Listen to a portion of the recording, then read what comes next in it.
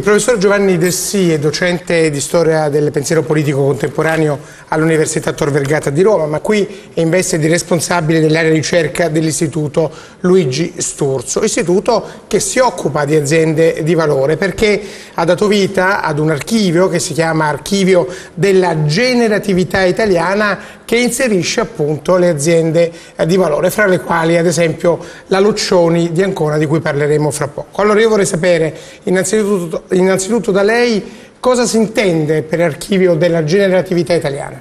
Sì, l'idea in sostanza è molto semplice, cioè di fronte a una narrazione della nostra realtà nella quale prevale ehm, il racconto di eventi sicuramente non positivi ma anzi negativi, l'idea semplice è che in Italia ora ci sono esperienze che invece producono valore economico, culturale e morale.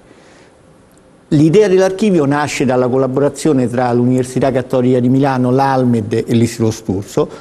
Una persona, in modo particolare un caro amico Mauro Magatti, credo che abbia eh, intuito questa categoria, riprendendola da uno psicologo eh, statunitense, ma l'idea centrale appunto è che eh, si può raccogliere, mettere insieme, individuare quelle realtà che oggi in Italia producono valori. Questo in modo molto semplice, attraverso un primo momento di ricerca su tutto il territorio, dalla Sardegna alla Valle d'Aosta, Adesso sono più di 100 casi che sono presenti in questo sito che abbiamo realizzato appunto più Sturzo, di 100 casi più di 100 casi in cui c'è un'intervista, alcuni criteri, dei racconti di come una realtà sociale, istituzionale, no profit è generativa. Ma quando un'azienda diventa generativa?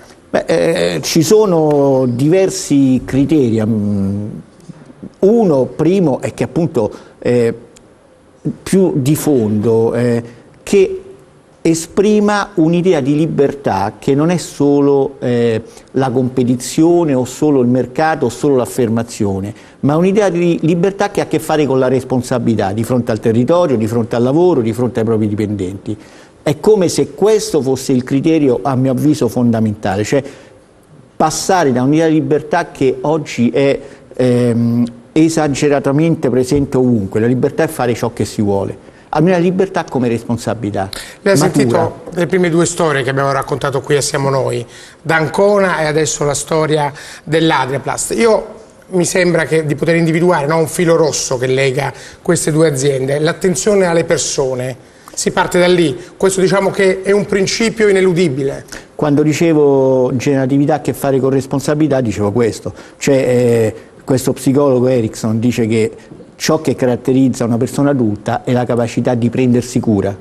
Allora, trasponendo questa che è un'analisi sociologica nella realtà, ciò che caratterizza un'azienda generativa, un'istituzione, una scuola, perché per esempio qui a Roma abbiamo alcuni casi di scuole elementari che abbiamo inserito in questo, la Denonato per esempio eh, a Piazza Vittorio, una zona abbastanza complessa di Roma. No, ecco, eh, lì eh, per esempio che vuol dire prendersi cura? Vuol dire che la gente che è in quella scuola pensa a se stessa, alla propria attività come un confronto, un prendersi carico di quella situazione, delle persone di etnia diversa che per esempio eh, frequentano quella scuola.